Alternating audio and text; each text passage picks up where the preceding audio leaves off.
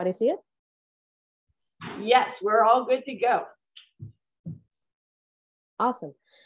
Okay, um, so this is a, a, a glimpse into bio-inspired robotics, kind of an overview of where what the idea is and um, some of the cool stuff that's come from it.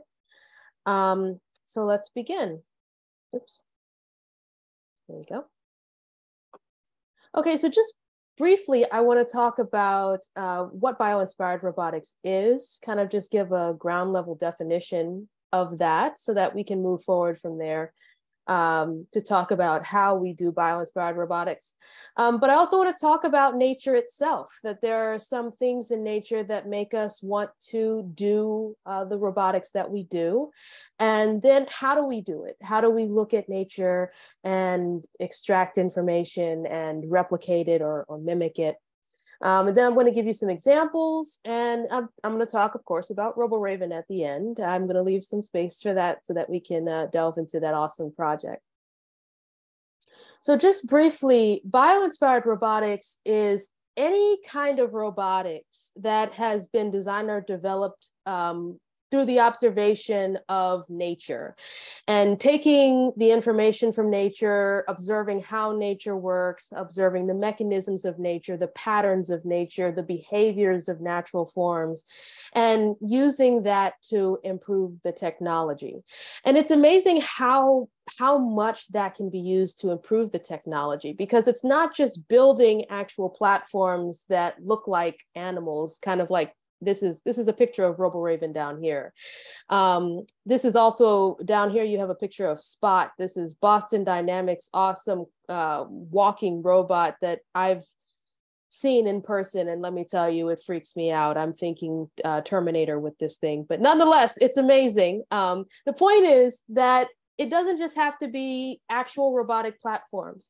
It can be the computer code, how the computer thinks it could be the sensors that are created. There are some sensors that people are, are mimicking, like fish eyes, or how uh, animals adapt color changes to temperature changes, or you know stuff like that.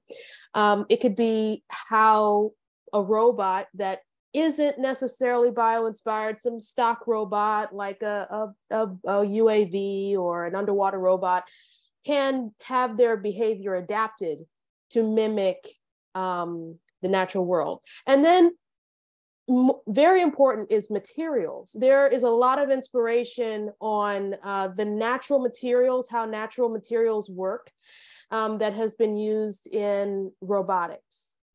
So let's move on from, from there. So there are four things that we look at in nature uh, to use for robotic platforms patterns, forms, functions, and behaviors. So just a brief overview, patterns are things like structures, like honeycombs, um, the way that bees make honeycombs. And you can see now NASA is even thinking about using honeycomb structures because of how stable they are. Um, communications are another pattern, the clicks and the beeps and the chirps and that dolphins use. The people are finding that uh, dolphins, it, was actually quite amazing. There was a, a, paper that came out that showed that dolphins actually choose their names uh, when they grow up, and it's a series of clicks and beeps that the dolphins recognize. Um, so those are patterns as well. And then you have camouflage or how um, the like a, a butterfly wing, how the structure is actually made, the different overlapping patterns of that.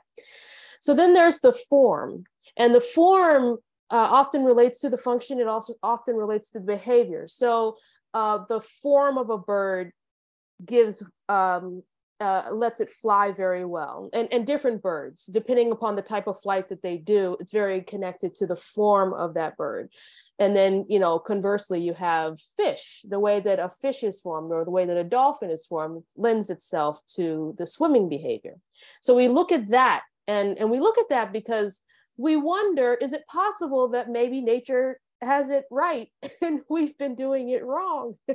Um, is it possible that the environmental adaptation has made it better uh, than the current technology, especially in form? Um, so for function, we're talking about how does something do what it does. How does a muscle contract so that my hands are moving? How do neurons move in our brain so that my brain is thinking and I'm talking to you right now? How do plants communicate through fungi, communicate to clouds, make the rain, all of that stuff. How does that happen? And is it possible to improve the technology by looking at that? And then there are behaviors. This is how um, this is how anything interacts with the environment.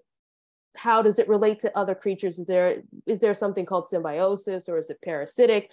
How do they raise their young? How do they understand their environment? You know we do believe that animals and i don't know about plants but they have this weird chemical communication. But the point is that do they understand their environment? Do they recognize? I mean we know that animals uh, recognize territory. We know that they say, This is my territory, especially if it's a predatory, isolated, predatory animal.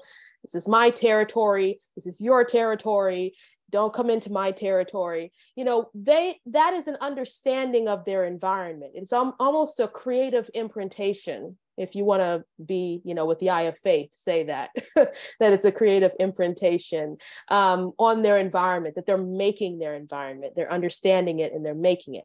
So is it possible to use this in robotics possibly in how robotics think how they behave? Um, so that's kind of what we look at in nature and and we kind of uh, uh, use that to inform our behavior so it's just some examples of this. Um, over here, this is this is amazing to me. Swarming behavior. It's very popular.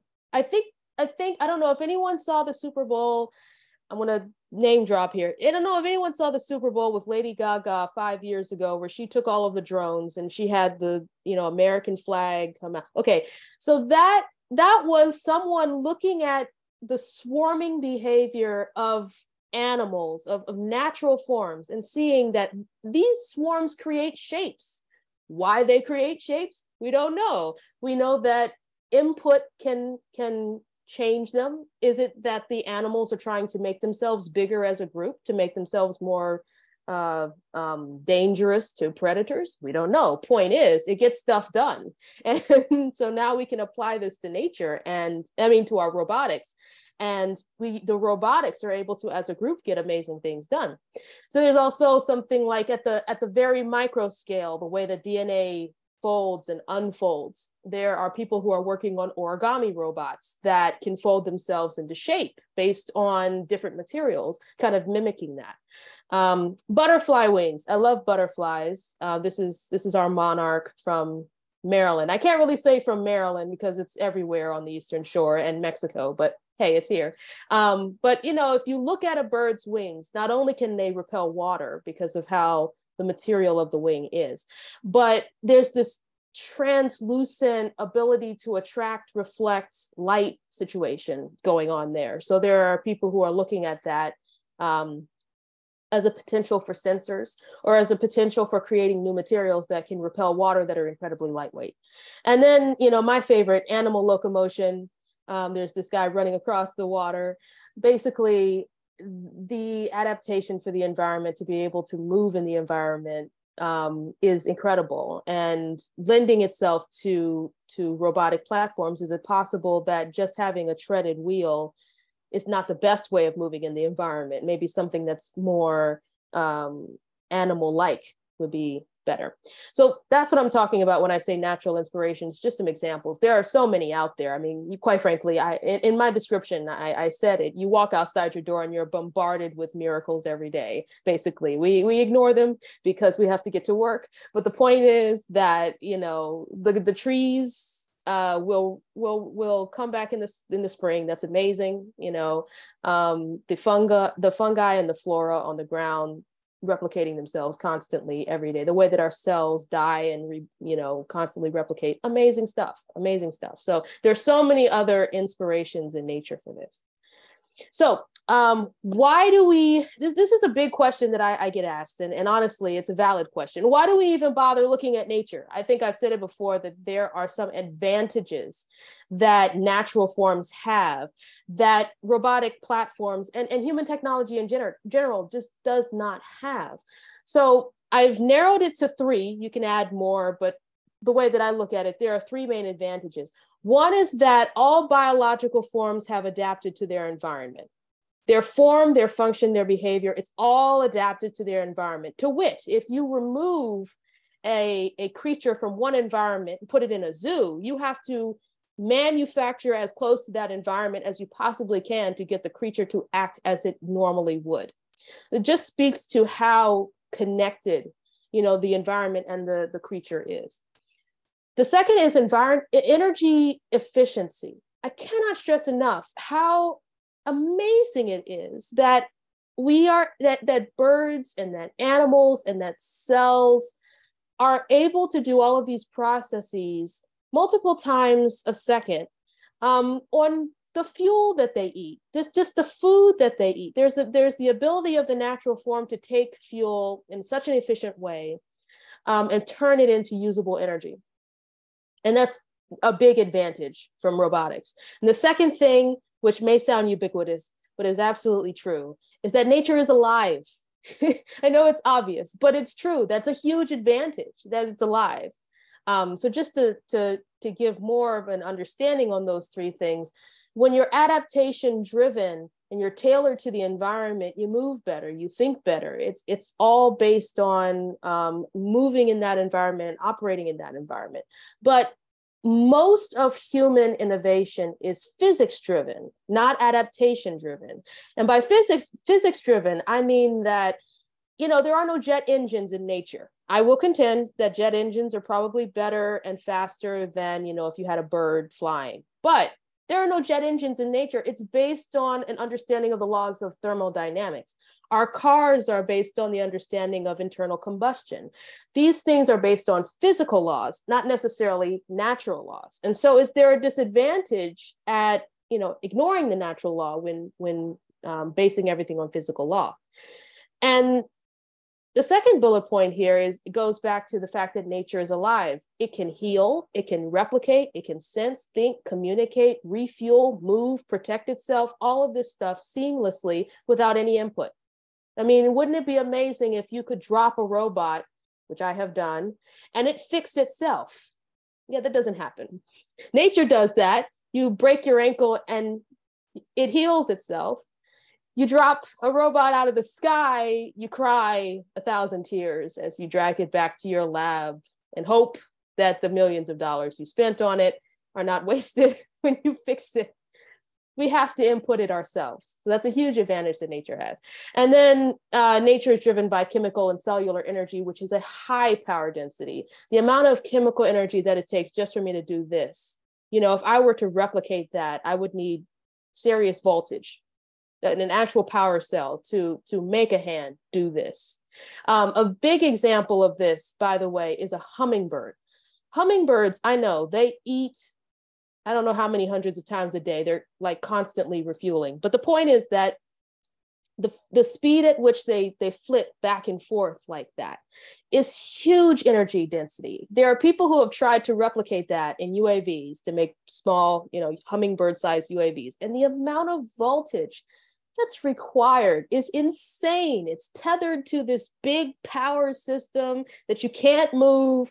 So it can't really fly outside. It's just really proof of concept. Can we even do this? And no, no one's really gotten to very tiny size that can just, you know, fly around. Not that I know of. I don't know what the military is doing. I, I just preface that. Uh, but whatever they're doing, the normal people, I don't know if we have gotten stuff like that you know. So it's these are these are serious advantages and this is why we look at nature and try to replicate it with with bio-inspired robotics. Um, so how do we do this? Now um, humans have been looking at the natural world for millennia for inspiration. We know this. I believe it, there was a question at the beginning of the lecture is there anything else that is uh, inspired by nature. And, and simply it's because we've been living in it for tens of thousands of however many thousands of years. And it, it's around us. So we just, we think and we get inspiration for it. Big example of this is Leonardo da Vinci's drawing of a flying machine. He looked at the flapping behavior of birds and said, let me try to replicate that. Um, unfortunately for him, large scale causes vibrations. So it didn't quite work as planned. Um, but still, inspiration. Um, so how do we extract this information from from nature? Um, so the first thing we have to ask ourselves is, are we going to mimic the nature? Are we going to be inspired by it? There's a big difference. Mimicry is almost a one-to-one connection. So if I was to create a robotic hand, it would look like this, basically. Um, as opposed to inspiration is more broad. So let's say instead of creating a robotic hand, I just wanted to be inspired by how my palm does this. And so I create a material that can do that. And I apply it to a different system. I'm inspired by it. I'm not trying to directly mimic it. Right. So that's a big question we have to ask. And sometimes there are advantages for one or the other because mimicry is sometimes necessary depending upon the application, but it can also be very complicated.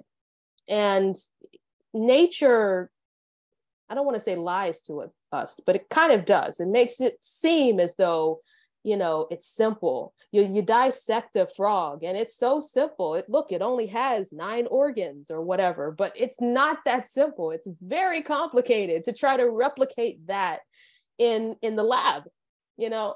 So is it worth it? Or do you just want something that already is an established technology and you adapt it using something that is inspired by nature the second question is uh, Do we go outside and stare at the sky for hours and, and get inspired by the design? Or do we recognize that there is a fault in the current technology and we then go to nature to be inspired by it?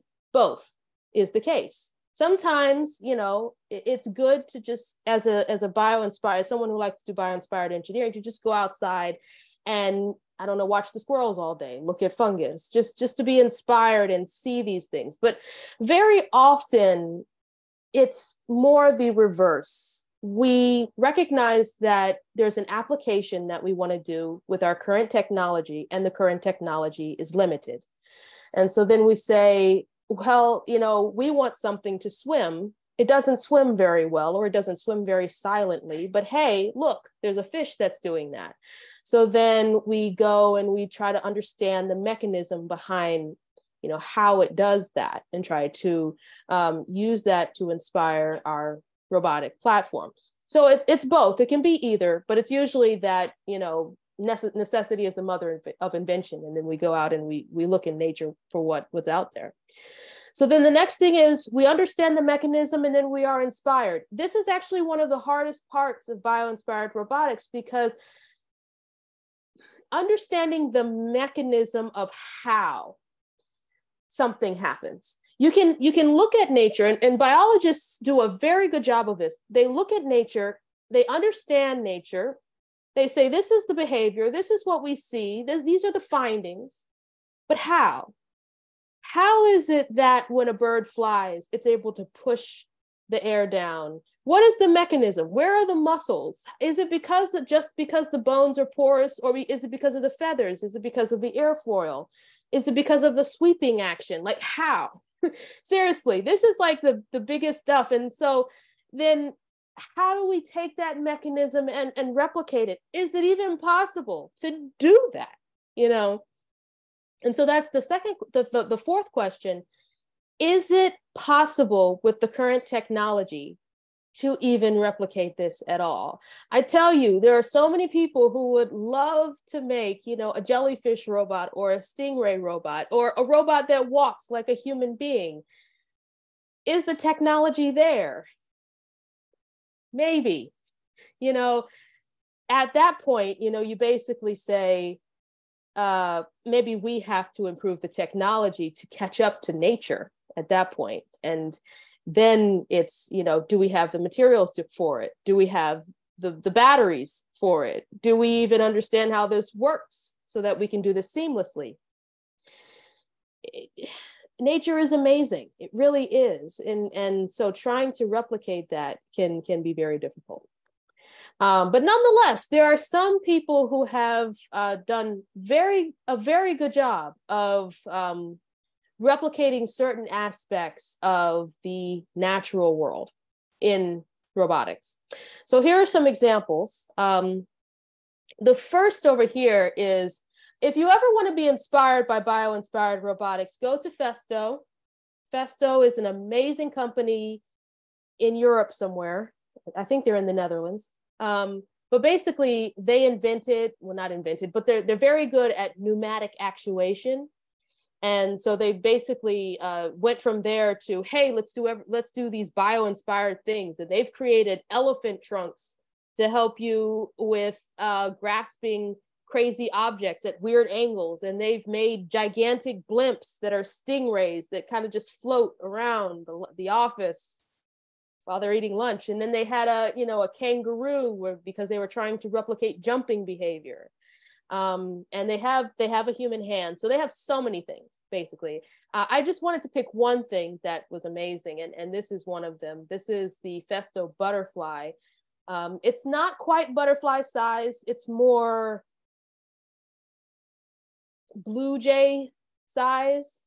Um, getting things to a very small size is incredibly difficult. And there's an entire engineering called um, miniature robotics or, or micro engineering that is based on that. And it's simply because when you get to small sizes, there are certain forces of nature that don't matter at big sizes that absolutely matter at small sizes. Um, for instance, the whole concept of taking a submarine that's really big and shrinking it down and putting it in your body, not going to happen because the forces at that size are going to push against the propeller and it'll just spin forever and ever and ever. It won't go anywhere. So why is it that an ant can lift, you know, ridiculous amounts times its body weight? Because it's tiny. If it was big, you know, it would basically collapse in on itself and and and kill us all. So small size, very difficult. But the point is that Festo was able to create a, a, um, a, robotic butterfly that does fly like a butterfly. It has the same mechanism. It it's kind of flapping wing, has a little bit of a motor right here, um, and its wings are flexible. And that's one of the biggest innovations is that the wings are flexible flexible materials and flexible wings are something that you see in nature all the time but you do not see in robotic platforms. You know i've seen slugs in my yard that can go from being you know this big to curling up and being like this big with with no damage to themselves. No no we can't do that okay? In robotics try taking a, a, piece of metal and it's because they're they're made of metal a, a, metal robot and trying to crunch it to that size it just doesn't work. So flexible materials are really important and also very bio inspired um, then you have you know the big guy boston dynamics spot. This guy made quite a splash when he uh, landed in the robotic world. He's quadruped he's four legs um, and is pretty much able to go over almost every terrain like an animal. But what makes him special, what is so special about this guy, is his internal processing. So if you remember when I said that, you know, bio inspiration doesn't just have to be the platform, it can also be the uh, computer code. So the way that this guy thinks the way that he senses is that he recognizes his center of gravity and he is able to self-correct constantly like we do when we're walking and we we recognize that we're off or we're flipping and you know he can flip himself back. And so it makes him incredibly stable. Um, if you've ever seen i've seen spot in person um, you know there's a test where you kind of push him you kind of like hit him like this. If you do that with any other robot it'll flip over because it doesn't have that capability. But this guy, it'll push back at you. It'll actually self-right as if you're pushing a friend and that friend is pushing back at you. It's it's so amazing. Um, so, and I think they're working on a new one that's even more um, Terminator-esque. Uh, we'll see what happens with that. So another uh, example is RoboCrab. RoboCrab actually came out of our lab a couple of years ago, um, and it's based on the horseshoe crab. I had to have something here that was seen in Maryland, so horseshoe crabs. Um, the amazing thing about horseshoe crabs is that you can almost uh, think of them as a robot for an extreme environment, something that changes constantly because the surf is constantly coming in and out. The sand is changing, it's getting washed away. Um, it can go on rocks, it can go on sand, it can go a little bit on, on grass. So that's actually something that we want to study when we're doing robotics because it's, it's, it's a robot that can move in different environments. Um, the difference between this robot and a horseshoe crab is that if a horseshoe crab gets flipped over on its side, we have to come and flip it back over. This guy was designed with a little internal uh, gyroscope so that if it flips over, it can use its tail, tail right here, to flip itself back.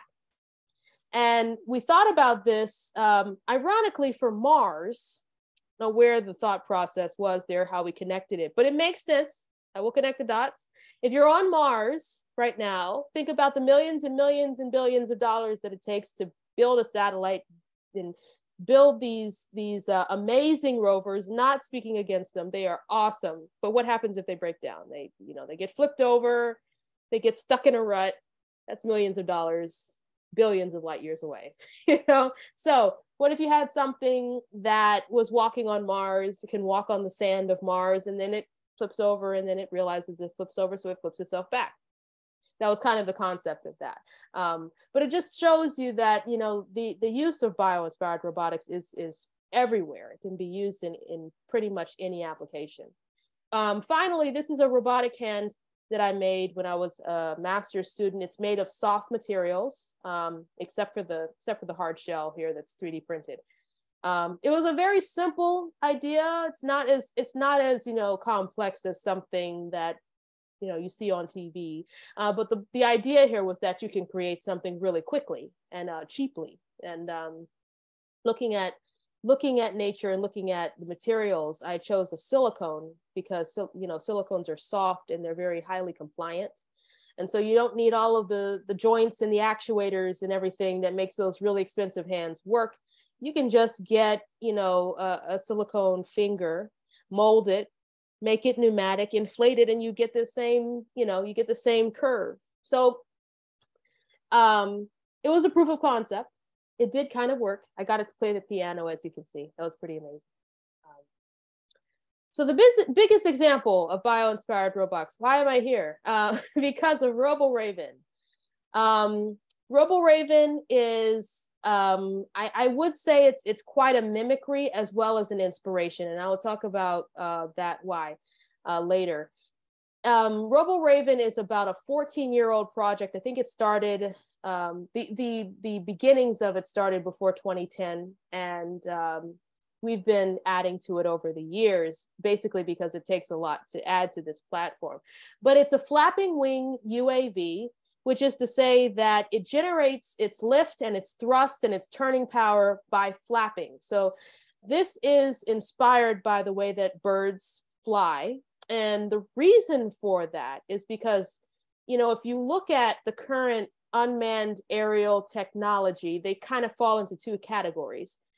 You have the fixed wing that kind of looks like a plane, and you have the quad rotor helicopter looking one.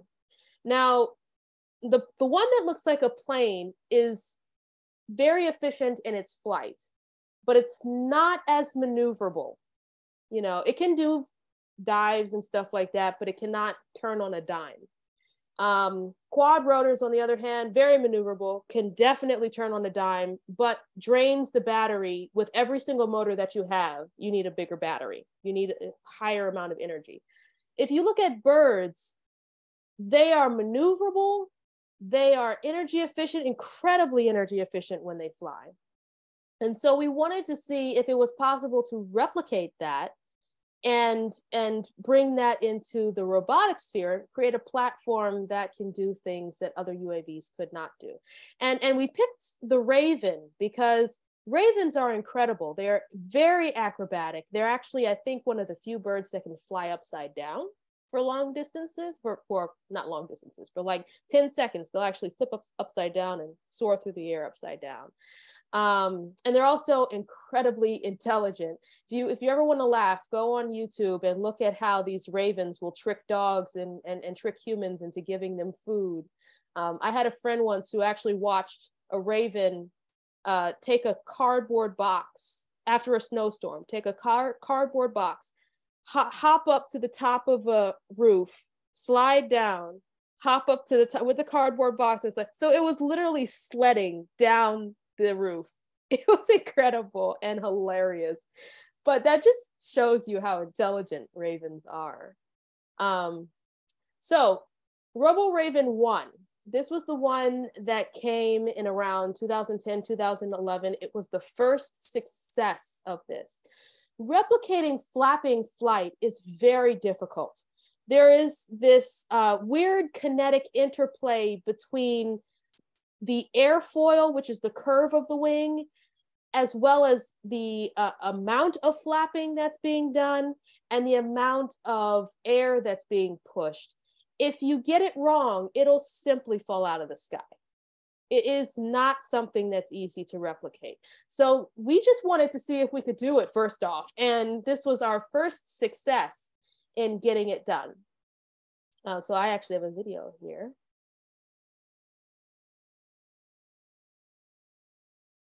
I don't know if you guys can hear the sound. Can you hear the sound? No, okay, well that's good because I didn't want you. that's a distraction. But the point is, um, this was a Robo Raven one, just getting it to flap and just getting it to fly untethered in the environment. And untethered is very important because there are a lot of flapping wing birds that can fly inside and with a tether to keep it going. Having something that can fly outside with no tether in the environment was big. The other thing that was cool, as you just saw there, is that it could do flips and dives and turn on a dime. It had that acrobatic ability uh, that the birds had. And the reason is because of what you just saw there. It has independent wing control, which means that we have two motors in the front, and each one controls one wing and the other one. And in the computer code, it's a separate um, communication. So what that does is it allows us to control the bird just like uh, an actual bird can control one wing separate than another one. And that gave us a lot of maneuverability as well as um, flight capability. So That's pretty cool. There's another dive right there. It's it's it's amazing. Um, so the other thing that was really important and was kind of the breakthrough here is kind of what he's talking about right now with the way that the front end was designed. These wings were specifically designed for RoboRaven and they were designed to be flexible. Um, interestingly enough, we did not create something that behaved like a bird in flight. We created something that behaved more like a dragonfly. oh, that was an example of it was so, it was so, um, it, it looked so much like a bird that a bird actually attacked it. it. It thought it was a bird. And there's another example of a bird trying to kind of fly with it. Um, so that actually um, talks about some of the applications that we have for if we wanted to do um, monitoring of, of animals in situ while they're flying. Um, we could actually have something that could fly in a flock and the birds wouldn't be too disturbed by it, you know, really up close pictures of, of birds. Um, but anyway, back to the wings, they were very flexible and it was a process that we had to create to make them lightweight as well so that they could fly and create the curve that is necessary to push air down so that you can get that flapping motion. Um, and, and this one was not autonomous, uh, meaning it, you know, flying by itself. We did actually get one that was autonomous and that was another weird situation. Um, where um, we had to figure out how to the, autonomous takeoff, flight, landing. No, none of that. Uh, more like we get into the air and then we turn off our control and it, you know, flaps for by itself uh, for a little bit.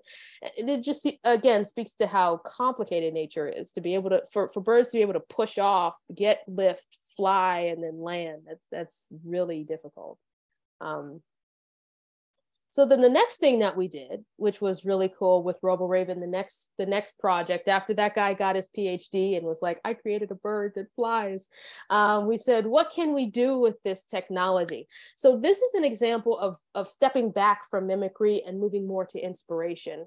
We wanted to improve the efficiency of the flight, um, the, the efficiency of the battery itself, and so I don't know if we were inspired by the Greek hero Icarus, but we basically wanted to put solar panels on this thing so that it could fly too close to the sun. But the goal was so that it could charge the battery while it was flying and get this continuous flight, something that people have been trying to do with gliders for a long time to create green energy so that they don't have to use, you know, the, the fossil fuels to fly. Uh, we wanted to see if we could do it with a bird. Um, so yes, it we were able to put solar panels on the wing and it was successful in charging the battery. Was it successful in perpetual flight? Not so much. Um, as I said before, the energy density, it, it is so critical. The fact that birds can eat little seeds, fill themselves up, and then fly forever. I mean, it's incredible. We just don't have the battery power to do that. We just don't. And even adding solar panels didn't help. Um, but we were able to extend our flight further, um, which was pretty cool. And that was actually pretty groundbreaking in, in the robotic world. The other thing that we did was, um, I don't know if you noticed, these wings are much bigger than the ones that we had before. Uh, we basically created larger wings, kind of kind of scaled this up from a, a raven to an eagle, and did that so that we could pile uh, solar panels as, as many as we could on the, the wing to get as much charging as we could. Um, so that was kind of the, the next iteration to see if we could do that. And it was pretty much of a success, I think. I liked it. Um, so after we did that, we went back to the drawing board and we said, okay, how can we further improve the design? We still want to keep something that flaps. We still want to make it, you know, usable. But if you look at these UAV platforms that are out there, these quadcopters and stuff like that, they're so fast. And this platform was fast already. But they're the quadcopters are so fast and the planes are able to get so high. I mean, they're able to get, you know, hundreds of feet in the air. So is it possible for us to get something that could carry a payload maybe in a disaster situation um, and make it comparable to these platforms that are de- delivering kidneys to hospitals, basically. Um, so the next thing that we did was we stepped even further back from the the mimicry. We were still inspired by you know nature, and we kept the flapping behavior, but we wanted to add uh, more of a human touch to it. So we put propellers on the back of the platform. And this was the first mixed modal meaning two two methods of um, of flight propulsion. Um, the the first mixed modal platform that has existed, you know, for other untethered flight like we did, um, and and this really did take the cake. I mean, it made the platform very fast. You'll see in a second uh, that I mean this this little dot in the sky. It went so high in the air, and it was able to um, um, you know be comparable to some of the other UAVs that exist out there. So the other thing that was pretty cool was that our acrobatic ability uh, improved. And so the flips and the dips and the dives that we were able to do actually got a little bit better. Um, the weird thing was that at this point, we, having moved so far from nature, we realized that what we've done is we've created a new thing. We've created something that's bio inspired, but also is very human inspired. And so, if as you can see here, this thing is at this point it's gliding. You know, it's diving, it's gliding. You can flap it like a bird. You can fly it like a plane. You know, it was pretty amazing that we could do both of those things at the same time. And it also had a sensor. Um, it had a um, uh, a larger amount of sensors that could be put on the platform. So the, the payload did actually increase. And um, we were able to put, you know, GPS and stuff like that on it. So then we could do scientific studies on the platform in ways that we couldn't do with, with the other platforms. Um, the other platforms basically would fall out of the sky if you put the amount of weight on it. I should know, I tried, and it was a horrible crash. Um, so anyway, so that's that's Robo Raven. Uh, that's my project. Um, moving forward over time, I actually uh, came after Robo Raven five, and what I did was I went back to nature. I reversed our I re- reversed the process, and I said, let's make it more energy efficient by how birds are energy efficient in gliding and flapping and gliding and soaring and stuff like that because there are some people who are looking into that to improve the platform without necessarily improving the battery or improving like how the platform is made. Um, and we were able to get some decent results um, to show that it is possible to to get this platform to flap and glide and um, how it improved the drain on the battery so that it could fly longer using these bio-inspired methods that birds use um, all the time. So I'm not sure where this is going to go in the future. We'll see. Uh, I, there are some things I'd like to see. Like I'd like to see this thing perch. I'd like to see it, you know, come and plop and then come and leave. You know, I, would like to see that. That would be pretty amazing.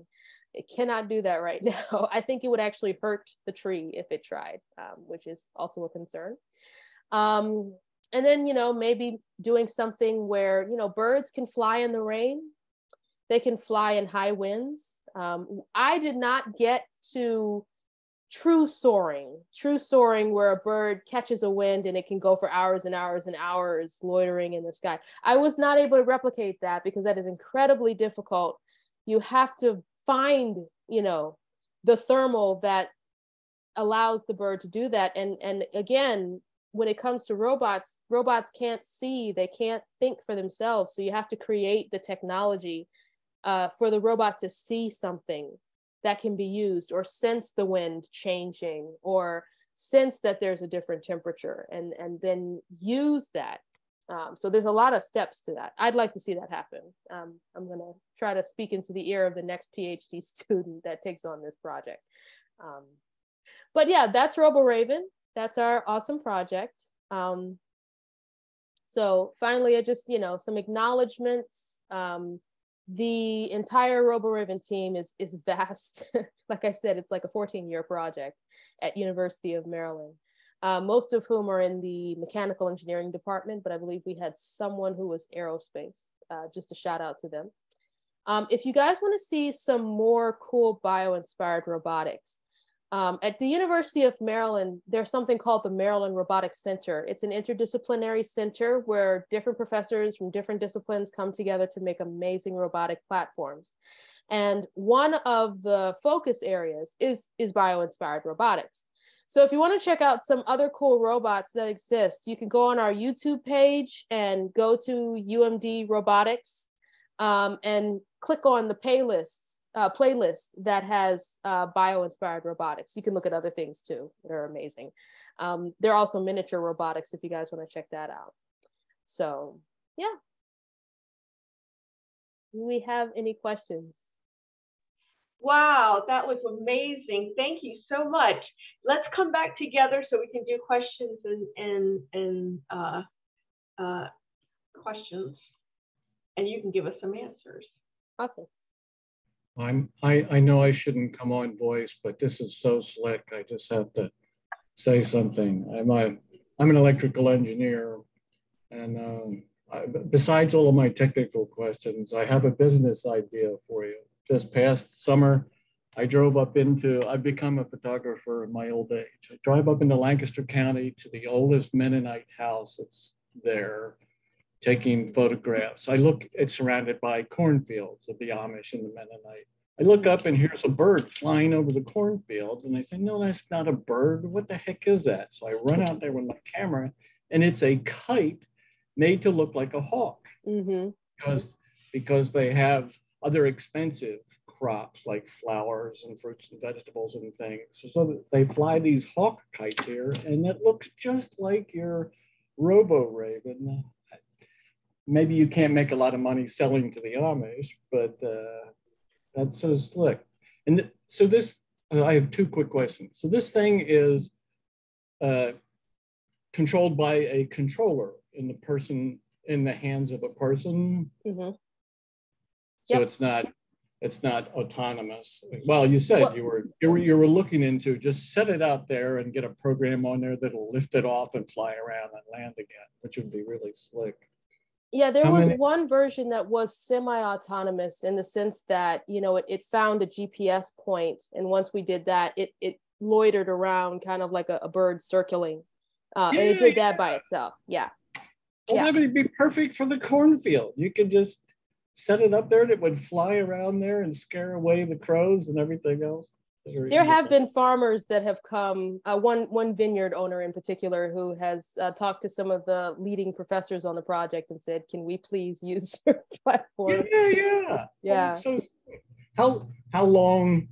Uh, some of the harder questions. How long can it stay up in the in the versions that you've seen? Yeah, that depends on the platform. Um, Depends on how many milliamperes hours you Mhm. have battery power on there. Yeah, Robo Raven one. Uh, I believe the it was about five minutes before the battery drained completely. Oh, Um, yeah. Robo Raven five drains the battery much faster, but still is like you know four minutes or so. Um, I believe with the solar power we were able to extend it uh, a couple of minutes, so it's pretty yeah. We we never really want to leave it up that long though, because after a certain point, uh, after after it after the servo motors uh, um, go below five volts, they they just drop out of the sky, and uh, You'd kill a lot of robots that way. the Yeah. crash the, the crashes are magnificent. Let's just say. That's good. I'm done. Thank you, ma'am. Mhm. All right, That's thank you, very ser- that's that's ver- seriously neat stuff. You are you are a uh, you are a sharp person. Thank you. Thank you. And then I, I don't know if, if it was the same Richard who in the chat says that they've seen vision and robotic systems based on dragonfly brains, um, considering the amazing things they do with small number of neurons. And have you ever run across that? I have not run across that, but I have seen uh, the dragonfly itself being replicated, the, the flapping motion being replicated. I have seen that. Uh, Harvard um, has this uh, Cybo- I think it's Cybotics or something like that lab, and they have done that. Um, but again, the biggest problem is that the, the energy density to get those um, those things to flap back and forth. Uh, they use it. They use a technology that um, when current goes through it, um, it bends. So you have to push a lot of current to get to get it to you know Oh, bend really quickly. So so the, the they basically they're they're connected to a, a gigantic power system, and I think they finally got one uh, that lifted off by itself and and went down. Um, but yes, and there are people who are working on. There's a whole there's a whole side of robotics called cognitive robotics, uh, which are robots that think and um, consider um, information. And, and so all of that is based on uh, neural pathways and how neural pathways think. And I, I know that they are not just looking at human neural pathways, but also um, animal neural pathways for that for that stuff. Um, also in the chat, we have Judy saying,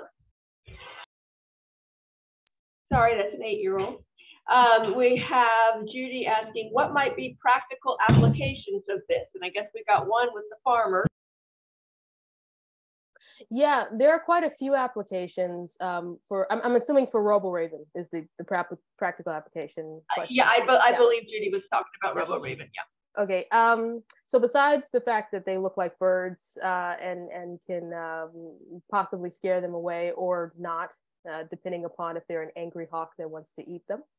Um, one of the other things that we looked at is the fact that the flapping behavior of birds can be used in some applications more advantageously than if it was a you know a fixed wing aircraft or a quad rotor. One of the biggest ones is if there's a chemical spill so we were kind of inspired by it. I don't know if you guys remember maybe five or six years ago houston had a really bad there was a hurricane that came through. Houston had a really bad flood and there was a chemical spill that you know knocked out everything for a couple of, of days. Um, if you want to not involve humans you, there's a whole engineering about you know keeping humans safe from dangerous situations. So if you want to not involve humans then you're going to have to rely on robots and uh, if you want to you know kind of zoom in and look at what's going on in this chemical spill you know to get a kind of bird's eye view and see is it still spilling has it contained itself is there a fire you know um, if you use a fixed wing aircraft, UAV, you can kind of stay above it for a long period of time, but you can't really get very close as much.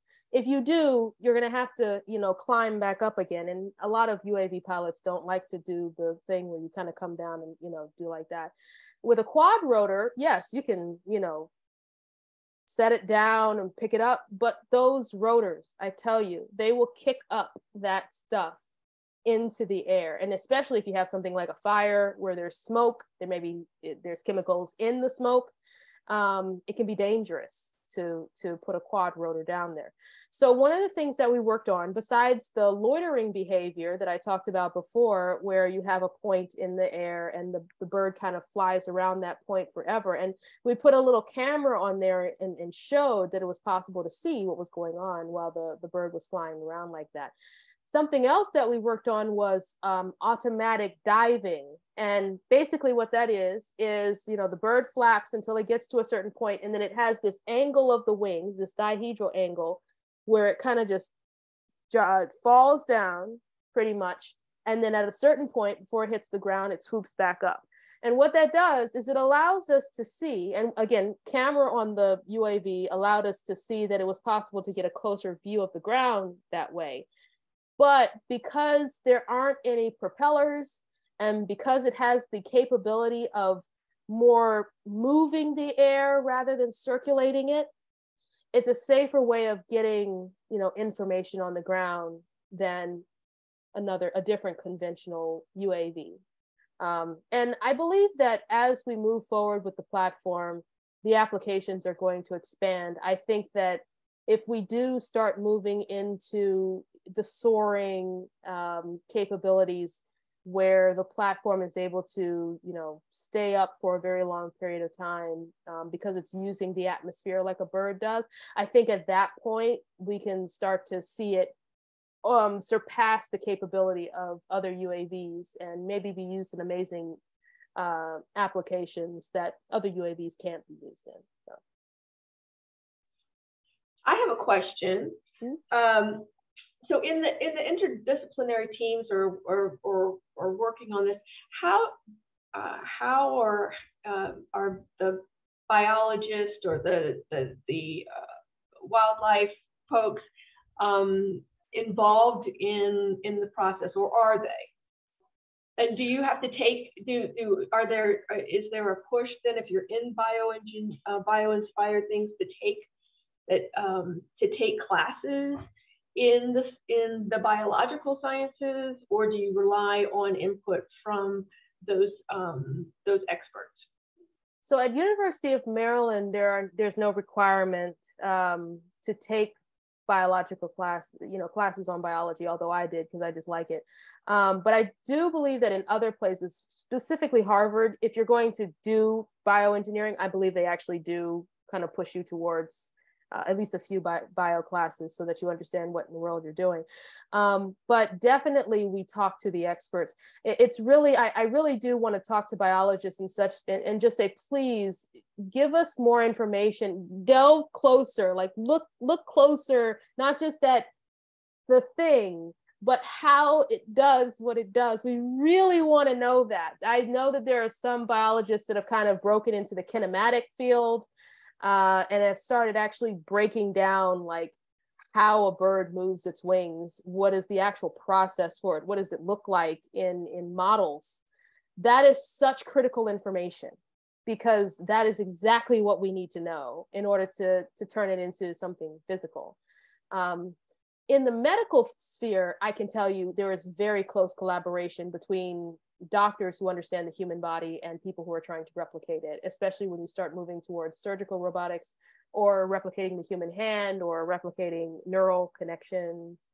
Um, so, yeah. Um, two questions with you. Um, one, what are you doing now? Hmm. And two is how did you always grow up with an affinity for nature, or did that how did that come um, uh, at, a, at a different point?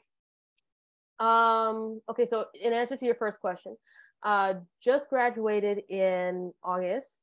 I um, had 12 years in school, so I took three months off, basically.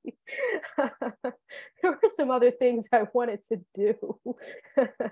uh, but I actually am going to uh, teach bio-inspired robotics um, for a semester at University of Maryland. And then I, I plan on, I, I really, really would like to get into oceanography. That's kind of where I, I definitely want to get into uh, exploring the deep and exploring coral reefs and exploring the Chesapeake Bay. That is that is something that I desperately want to do. Uh, and archaeology, using robotics for archaeology, uh, like imaging uh, stuff. So that's kind of what I'm pushing towards. We'll see how that happens. Um, in answer to your second question, I have always loved nature. I can definitely tell you that from my earliest age, I've always loved nature. Now, I had no idea that you could, you know, engineer stuff to look like I did not know that. I just liked dinosaurs uh, and I liked uh, the crocodile hunter. I would religiously watch the crocodile hunter uh, on TV. I just loved uh, nature. So I, that's definitely grown over the years. I've definitely increased my uh, desire to, to stare at, you know, flora and fauna um, over the years. It, yeah. Wonderful. Um, let's see. Tracy says that anyone is a fan of biosphere kinetic art sculpture, the artist Casey Curran has some mesmerizing work. So that there's a link in there in the chat box about that um, as well. And Justine, I agree. This has been a fascinating presentation. Do we have any other questions right now um, for Dr. Johnson? Any questions?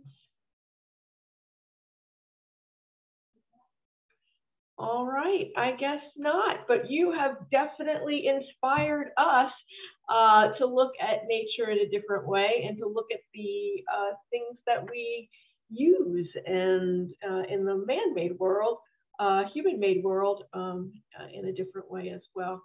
Uh, and hopefully we can all work together and and learn from nature. I love that they nature does it better.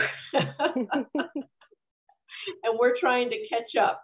So um, uh, again, thank you for all of that, that the work that you've put into this and um, that you continue to do. We're going to follow your exploits and we'd love for you to come visit us at our museum because we have all kinds of fossils and uh, bones and everything that you can think of that tells the 4.6 billion year story of this place that we call Maryland. So please come and visit us. Um, and we have an archaeology club as well. So maybe you can listen to that that talk on the, the buttons that were made from the uh, from from the shells of hmm. that. Uh...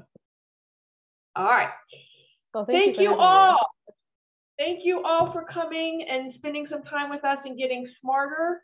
Um, hope to see you at one of our next presentations that are coming up. Remember that there are some spaces left in the history of pollination class that is being taught uh, by Dr. Jody Johnson. So I do hope um, to see you there. And we have field trips that are coming online. They, they, they get filled up quick. So make sure that you are tuned in and connected on all the social media uh, links and platforms so that you can get in and stay curious and stay outside um, everybody take care and stay well.